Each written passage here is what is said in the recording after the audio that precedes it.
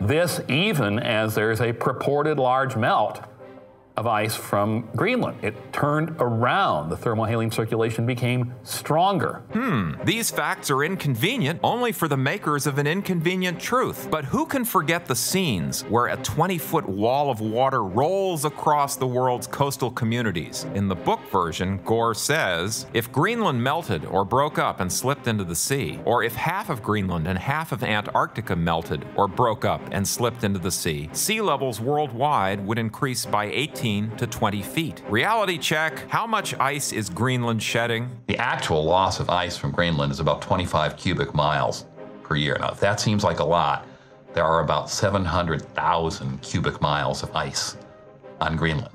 The loss rate is four tenths of 1% of its ice mass per century.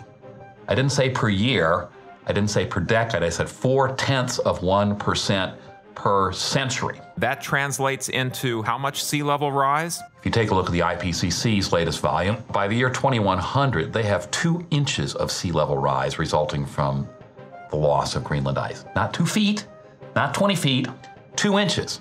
That's the consensus of scientists, okay? Whether or not we believe in consensus science, that's what they say. Gore says global warming could melt half of Greenland. Is that plausible? The United Nations projects that um, if we raise carbon dioxide to four times the background level, right now, that would be about 1,100 parts per million. Right now, we're at about 385 parts per million.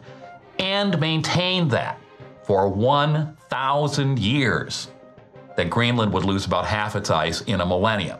Now, we don't have enough fossil fuel to maintain that concentration for 1,000 years. Gore also says half the ice sheet could break off because of moulins. For me, this was the scariest part of an inconvenient truth. Moulins are cracks that channel meltwater from the surface of the ice sheet to the bedrock below. By lubricating the bedrock, moulins could destabilize the ice sheet, Gore says. Well, a recent study in Science magazine lays that fear to rest. A small meltwater lake poured down a moulin at a flow rate exceeding that of Niagara Falls. Yet, Science magazine reports, quote, for all the lake's water dumped under the ice that day and all the water drained into new moulins in the following weeks, the ice sheet moved only an extra half meter near the drained lake. An extra half meter.